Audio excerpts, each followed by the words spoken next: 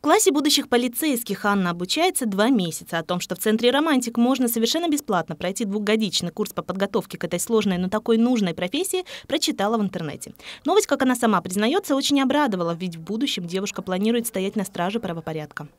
Я хожу сюда добровольно, то есть мои родители меня поддерживают. Правда, они знают, что это опасная профессия, и после окончания э, я буду поступать в МВД имени Кикотя. Класс будущих полицейских был открыт в 2013 году в Центре «Романтик» по инициативе ветеранов милиции Щелкова. За эти годы он стал путевкой в жизнь для многих школьников. Здесь у ребят есть возможность познакомиться с основой деятельности сотрудников правоохранительных органов. В течение двух лет школьники изучают право, учатся оказывать первую медицинскую помощь, проходят уроки по ОФП.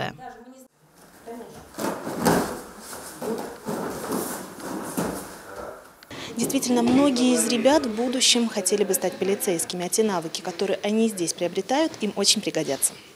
Отметили уникальность проекта щелковских ветеранов МВД на региональном уровне. Сегодня и другие ветеранские организации Подмосковья готовы взять пример Щелкова, выступают с инициативой создания подобных курсов в своих муниципалитетах.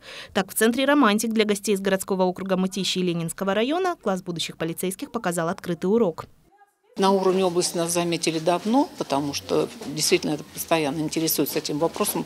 И кроме всего этого мы являемся же лауреатами премии э, губернатора нашей Подмосковья, поэтому это тоже как бы дана оценка нашей работе. Сегодня мы посмотрели э, работу ребят в классе, коллективную работу. Вообще в целом ознакомились с программой. И я считаю, что эта программа необходима. Зачастую вопрос, кем я хочу быть в будущем, к сожалению, для многих остается открытым даже после окончания учебы в вузах и колледжах. А класс будущих полицейских – хороший пример того, как следует осваивать профессию еще до поступления.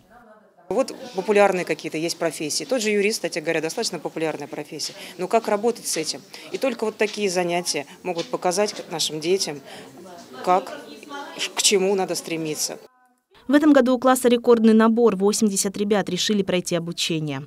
Анна Балиет, Игорь Поляков, Щелковское телевидение.